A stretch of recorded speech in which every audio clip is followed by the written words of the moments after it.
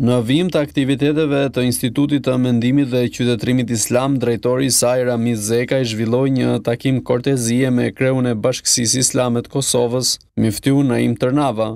I shoqëruar nga kryeredaktori i revistës Univers, profesor doktor Ramazan Bogdani dhe anëtari i bordit të kësaj reviste, profesor doktor Musa Kraja, drejtori i Institutit të Mendimit dhe Qytetërimit Islam Ramiz Zekaj vlerësoi kontributin e Bashkësisë Islame në drejtim të zhvillimit të mendimit shkencor dhe kulturor të hapësirës mbarëshqiptare. Nga ana e tij, kreu i Bashkësisë Islame të Kosovës, Naim Tërnava, Theksoi rëndësinë e bashkëpunimit midis shqiptarëve për të rritur nivelin e mendimit shkencor, religjioz dhe kulturor.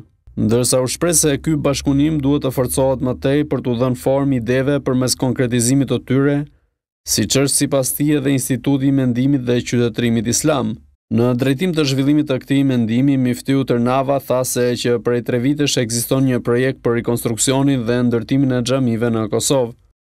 Ai vuri në dukje se së shpejti në Kosovë do të ndërtohet një xhami e re me një fond prej 50 milion euro dhe që zë një hapësirë prej 50.000 metër katror. Nga ana e tij, kryeredaktori i revistës Univers, profesor Dr. Ramazan Bogdani, duke vlerësuar projektin për ndërtimin e xhamisë së madhe, evidentoi peshën që mbart mendimi kulturor dhe ai shkencor, i cili sipas tij vjen edhe përmes revistës Univers. Ndërsa anëtari i bordit të kësaj reviste, profesor Doktor Musa Kraja, specifikoi rëndësinë që ka marrë ky mendim i qytetërimit islam tek të rinjtë.